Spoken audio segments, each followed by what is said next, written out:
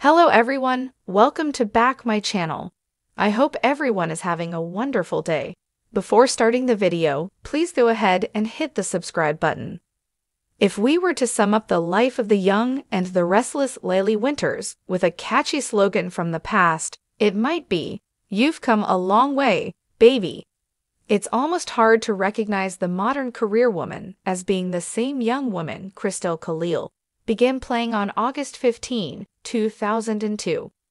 Back then, the actress laughs, Lily was sort of a bratty teenager. Even all this time later, the actress clearly recalls walking onto the soap set for the first time. I remember it so clearly, she admits. I was working with Victoria Rowell, ex Drusilla, and I was so nervous.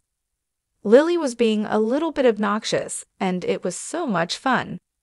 Working with pros like Rowell and the late Kristoff Street John, Neil, helped Khalil get her bearings. It was all so fast-paced, and I wasn't used to that, she recalls. But I was stepping into this family that was, both on screen and off, wonderful and supportive. It made everything so much easier. So how has Lily changed over the years? I think those early years of being rebellious helped her, because despite that, she was loved and respected. That helped her to grow and become the person she is now. Lily knows who she is and what she can provide. Of course, it would be impossible to look at the woman Lily has become without acknowledging the role, both good and bad, that Cane played in her life.